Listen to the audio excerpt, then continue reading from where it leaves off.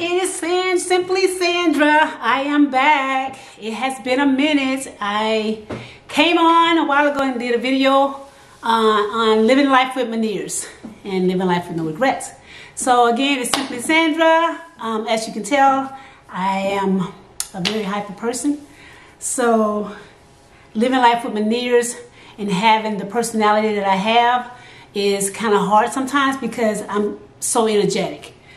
But as we know, most of us that have Meniere's and have it severely, we know that that can be a downer because we can't just be our beautiful, simple selves. So I wanted to come on today to just talk about a medicine that my neurologist um, prescribed for me a couple months ago and two supplements that I've added to my everyday use. So, number one, I talked about in my first video how severe my Meniere's is, or how severe the Meniere's is that I have, that I've been diagnosed with. For one, I think I told you guys I have to wear um, an alert necklace, and most people think it's because I have diabetes, but it's not. It's because I had this inscribed on it, which you probably can't see, but I have an inscription on the back that tells them that I have Meniere's disease. Um, because a lot of times they think when I'm having an episode that I'm having a stroke because I have stroke-like symptoms. But anyway, so this medicine that I um, was given by my neurologist is is an injection. So it's Emgality. The first dosage you take two 120 milligram injections. You give them to yourself. You give them to your stomach and your thigh, um, and your buttocks, in your back of your arms. So when I got the first shot, I was like, okay, no side effects at all because. For me, most medicines that I've been given for pain, they cause side effects. But this caused no side effects for me. I'm not saying for everybody else, but for me, it didn't cause any, any side effects.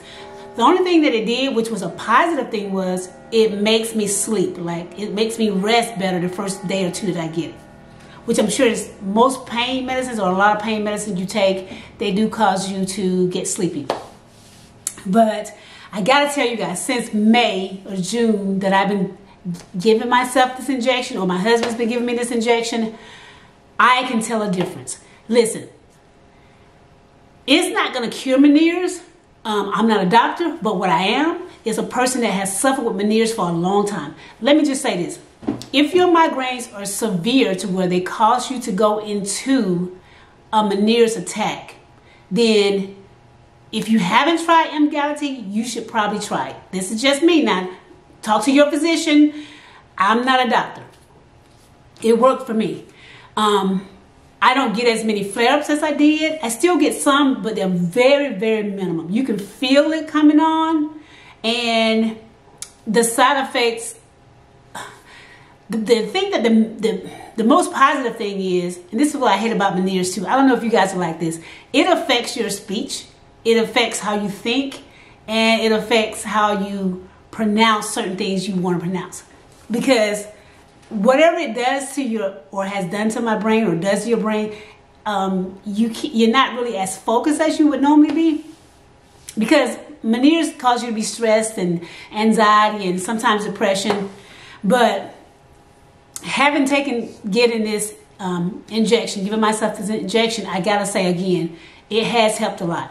Um, the other thing that I started doing because I did some research, I don't know if anybody has tried this, magnesium and melatonin. For me, because of the buzzing in my ear, um, it's so severe, it's starting to buzz now in my right ear. But when you hear it's so loud, you can't really rest. So if I take a magnesium, 500, I think I take 500 milligrams um, in the morning, and then I take a um, five milligram melatonin in the morning. And then mid-afternoon or evening, I'll take another magnesium tablet and another melatonin. So what that does for me, I'm not saying you guys go and do this, talk to your doctors, but this is what it does for me. I've noticed if I take that, even like if I take it for a couple of days and miss a day, the buzzing in my ear goes down. I don't know if it's because I'm resting and I'm not anxious. I am not um, excited or I don't know what it is, but I know I'm, I'm calm, I'm more relaxed, but it, um, the buzzing is minimized. I'm not saying that it's strictly from the magnesium or the melatonin, but what I am saying is when I take this on a regular basis, um, it works for me. I do when I get my blood work done. They do check my blood to make sure I don't have too much magnesium in my system, so I don't take too much because you can't take too much magnesium. And again, before you take any supplements or any medicine of any kind, talk to your physician, your doctor. I'm just talking about what works for me. But I'm excited because suffering with Meniere's, as long as I've been suffering with Meniere's, all of my hearing in my left ear is pretty much gone. I'm limited to driving. I'm limited to so much stuff that I can't do or couldn't do because of Meniere's. So it sets up depression, anxiety, and just stress. You worry because you don't want to be a burden on anybody. But because I am such a high energy person, melatonin, I'm probably saying it wrong, but melatonin keeps me calm. It puts me in kind of a relaxed, in between sleepy relaxed stage. And the magnesium does the same thing. Magnesium actually helps with headaches too. It does with me. But I just want to come on and, and show, share with you guys. I'm, I'm excited because I, I worked the last time was 2014. So here it is 2021 and I found a neurologist after so many um, that actually came up with something that's working to help me some now. I still am not um, 100% stable. Um, I still, I'm off balance and um, I have some of the things that go with Meniere's. But the positive thing, the plus to this is if you see one neurologist, you gotta see it I have seen probably 15. I've been to Emory, but things change all the time. So don't just stick with one physician, one ENT, one neurologist, um, one family practice. See or find out, talk to other people about who they see. Because there's somebody out there that doesn't know what the other person may know. Um, one other thing that I had done was, I don't know if any of you guys have had this, I had um, where they go into your ear that does the ringing, the one that you have that suffers with most of the ringing and the buzzing, where they did an injection inside of my left ear. So they go in with a needle and they deaden your ear on the inside. And then they go back in with another needle and push the medicine in. So it's a bit uncomfortable, but my pain tolerance is really, really high.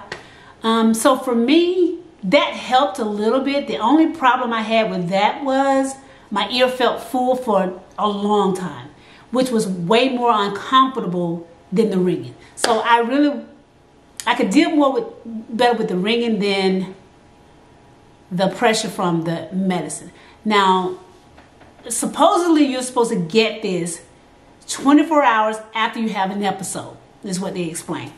So, if you go in, you've had an episode, then they put the medicine in, it works better. Well, I was having an episode, but not a major one. So maybe, I don't know if that's why it didn't work for me or not, but it's not something I want to try again. So it may work for someone else. If you've tried the injection in your ear, let me know how that worked for you, if you have. If you have not heard about it, speak to your ENT doctor and see if that's something that may work for you. Um, like I said, it did not work for me at all. But as of now, um, the Emgality and taking the magnesium and the melatonin um, is giving me some relief. Um, I, I still got to say, I'm still not where I want to be. I wish, of course, I know we all wish this with Meniere's, that we could be more independent. And I know that that's coming. So um, it's, it's more of a talking to yourself, every morning, okay, you got this. I'm gonna get up. I know my ears ringing, but today's gonna be a good day. Um, and you just gotta make the best of it. Some days you can't make the best of it because you just don't feel like it. The most important thing about that is it's okay. And it was hard for me to accept that it's okay that I'm not okay or I don't feel I don't feel good. Um, Meniere's doesn't have me. I've been diagnosed with Meniere's. Very severe case. So again, I'm excited about those two medicines that I've talked to you guys about, well, the supplements and then the injection. Please let me know if you've had the ear injection done, which I said that's not something I would do again. It didn't work for me. But if you have heard or if you're, you're giving yourself the Emgality injection for migraines and it worked, let me know how long you've been on it um, and what dosage you're on maybe. Um, I'm on 120. Um, I do think though, because of how my body is, it'll get used to something and then they'll have to change the dosage. But I'm just super excited that there's hope because of these things that may be small to someone else. To me, um, is not small. Um, is huge because I get a little relief. So to me, I'm thinking if that if this gives me a little relief, then there's hope. So um, we're doing a trial. We're gonna see how I am when I go back next year in January um, and see what she thinks if she needs to up the doses or not. But again, keep in mind migraines at bay. Of course, making sure you eat correctly um, is a plus. And I walk a little bit, not a lot, but I do add a little exercising into my um, routine every other day, if not every day. That helps a lot too because it's taking your mind off of what you got going on in your ear. And then it's giving you a chance to get out of the house because I'm in the house 24 7 pretty much 365 days a year, but I'm making myself get up and do more stuff. So I wanted to come back and just tell you guys this is one of my exciting days or my happy days or I feel good today. Um, I just wanted to share with you guys there is hope. Don't give up. I'm 50 years old. I will be 51 in December and I've suffered with this all my life.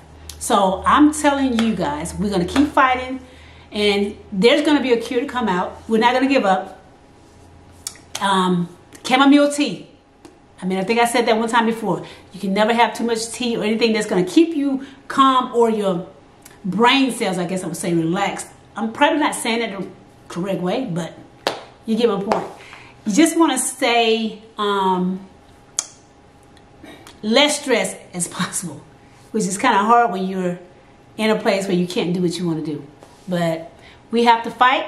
We're going to win this. We're going to keep fighting um, because we're going to live life with no regret. We have to because I promise you, if I've lived with it this long and then it took them this long or me to find someone that can find um, something that works for me, it's got to be something else that's going to come up. Again, um, I think sometimes it's aggravating for me because of how it affects me on speaking and saying what I'm thinking and I don't know. But it's just so many different things that that Meniere's affect that a lot of people don't know. So if you have other things that it affect, I know I have the the quick drop on one leg on my right side to where my leg goes out. Um, but it's just a lot of things that it that it affects. So again, I'm excited, you guys, about these medicines and these new things that I found. Um, I'm gonna come back and talk to you guys again, um, and then I'm trying to try and do some videos on what I do um, on a day-to-day -day base with you know living life with Meniere's. Um, some fun things. Don't want to make anybody any more depressed than they probably are, like myself. Um, the good part about it is, is um, we know that in order to get better, we got to think positive, and we'll be better.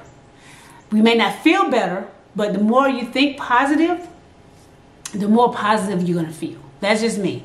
Um, and don't allow any negative spirits in your um, in your circle or around you because you're already dealing with enough, especially if you're dealing with Meniere's. So you want to stay as positive as possible. You want to do as much research as you can. Talk to people that have Meniere's. Connect with people that suffer from Meniere's, and that's what I did as well. I've um, actually befriended a lot of people on Facebook.